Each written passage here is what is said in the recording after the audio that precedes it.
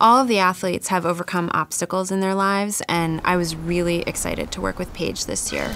She's dealt with bullying and negativity on social media, and we wanted to give her an opportunity to showcase her strength and confidence on her own terms. To, I guess, prepare, I was looking at all the other models and the behind the scenes, and I was almost trying to copy them. MJ basically said, you know, don't try to do that, be yourself and relax into it.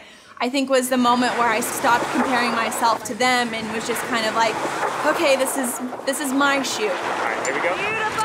Beautiful. That's gorgeous. They put me in like this leather tops and they put me on a motorbike. Beautiful, Dawn. That's James nice. wanted to have the effect of like dust was going behind me. Back, and then we have someone just like kicking dirt up.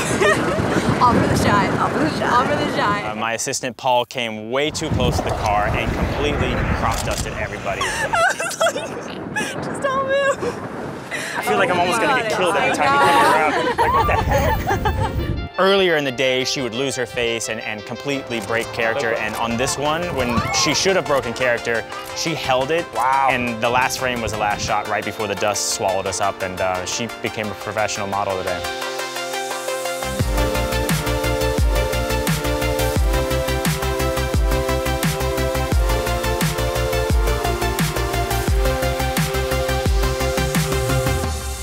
Moment meant so much to me because I just felt so strong, and I've never felt so strong and confident and sexy before. You know, she deserved it. She worked hard. And uh, I think there's a couple epic shots that will last uh, a lifetime for SI. It's one of the best days of my life. Oh, honey. the final shoot, you know, I, I, MJ was hugging me and I cried, and it was sorry.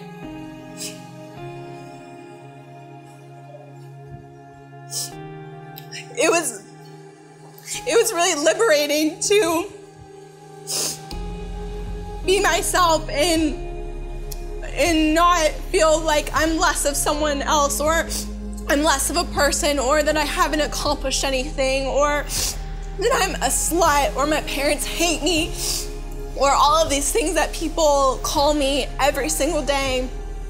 And then I'm constantly torn down and used in a way that I don't give consent. And it's it's been a really frustrating journey. So to finally embrace the sexy side and be confident and like love who I am and love the skin I'm in.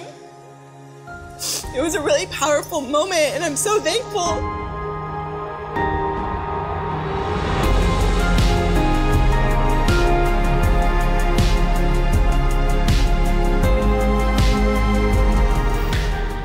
Hey YouTube, it's Hailey Clausen. If you like what you're watching, please subscribe.